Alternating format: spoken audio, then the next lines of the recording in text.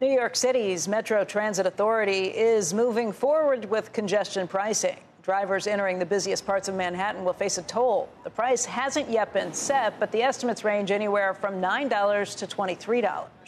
Politicians in New Jersey had been pushing back, arguing that drivers who already pay around $17 to cross a bridge or a tunnel into New York would unnecessarily be squeezed by this added toll.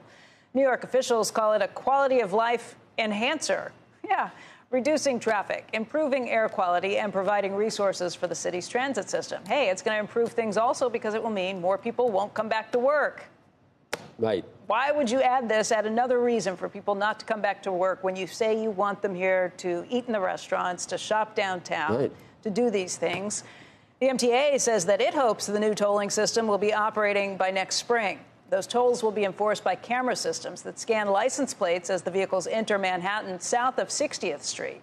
Drivers using the highways along the Hudson and the East Rivers can avoid the fee Low income residents of the congestion zone will receive an offsetting tax rebate. Good thing we're here, right in the heart right. of this whole area. And what could go wrong with something like this? You know, they, we can help we'll remove congestion. We can move the show back to Englewood Cliffs. Yeah, that'd be good for you. Yeah. I like it here because it's a scene. And because you're not paying the tolls.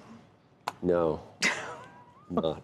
And, and I don't get sick in the car, so I can uh, prepare theoretically. Set up one at home.